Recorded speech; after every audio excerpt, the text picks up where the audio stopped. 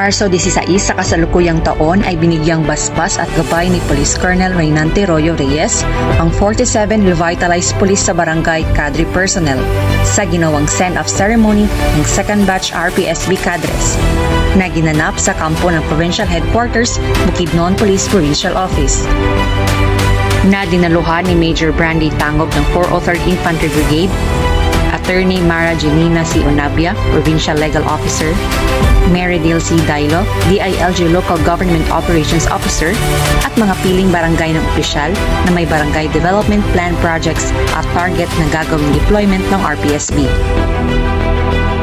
As your provincial director, I wrote over you, wishing all of you to, when you will be deployed uh, please do your best shot of doing best everything you do. Always have the intent and protect yourself from uh, any atrocity. First and foremost, I would like to thank you all for taking time to be part of this very significant event. Over the years, you, our PNP officers, has always been so proactive in crafting new programs that would benefit our people. You have been continuously doing all efforts to maintain our society's peace and order. What we have today is one of your notable achievements and I commend you for this. Indeed, the revitalized Police Barangay or RPSB program is such a very good initiative to establish good governance and hasten government efforts in removing communist terrorist groups influence in every barangay. Ginanap din sa Bukidnon Provincial Headquarters Basketball Court ang Friday Breakfast with Our Lord, Family of Bukidnon Policemen, Living with Christ. Ang programa ay inumpisahan ng sabayang almusal, pag-awit ng iba't ibang worship songs, kasabay nito ang kamayan at kumustahan ng bawat isa. Nagsilbing couple sharer ang Chief of Police ng Sumilaw Municipal Police Station si Police Major Larry T. Enciso kasama ang kanyang asawa na si Mrs. Jocelyn Enciso. Ang couple sharer ay nagbahagi ng kanilang mga karanasan bilang buhay mag-asawa. Nagbigay din sila ng ilang payo para sa masayang pagsasama. Anila, hindi madali ang buhay mag-asawa. Marami ang mga pagdadaan ng pagsubok, ngunit lahat naman ay kayang pagdaanan basta't may tiwala, pagmamahal, respeto sa isa't isa, at higit sa lahat, ang pagiging matatag sa pananampalataya sa poong magkapal. Ang matatag na relasyon ng mag-asawa ay nakadepende sa Diyos na siyang pundasyon ng pagsasama. Nagbahagi din ng mensahe ang ating butihing Provincial Director.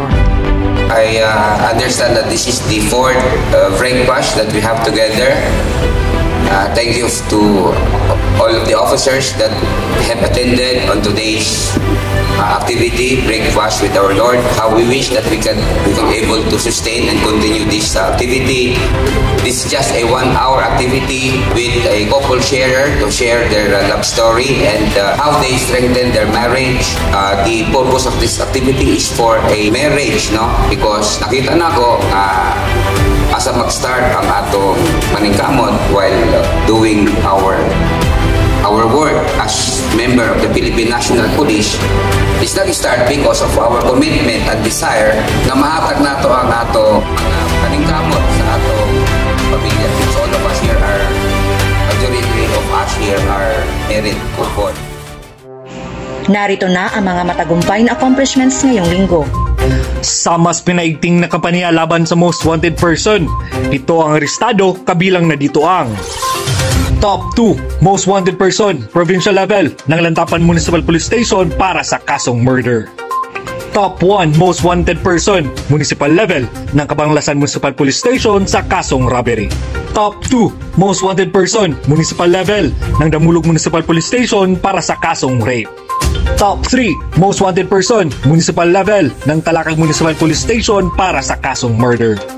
Top 4 Most Wanted Person Municipal Level ng Valencia City Police Station para sa kasong Republic Act 9165. Top 8 Most Wanted Person Municipal Level ng Manolo Fortis Municipal Police Station para sa kasong robbery. Sa kampanya laban sa illegal na droga, siya mga arestado na may tinatayang 21.35 na gramo ang nakupiskang hinihinalang shabu na may katumbas sa halagang 142,336 pesos. Kabilang na dito ang top 10 Regional Priority Target High Value Individual ng Malaybalay City Police Station, residente ng Purok 8, Sumpong, Malaybalay City, Bukidnon. Labing pito naman ang kabuuang bilang ng naarestong other wanted persons. Lahat ng nahuling sospek ay kasalukuyang nakadetina sa mga police stations at haharap sa kasong naaayon sa nagawang krimen. Pinuri naman ni Police Colonel Reyes, Provincial Director, ang PNP Bukidnon sa mga matagumpay na accomplishments.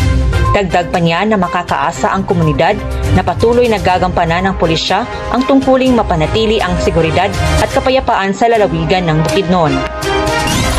Mula dito sa Provincial Director's Office, Ito ang Bukidnon PNP News Online.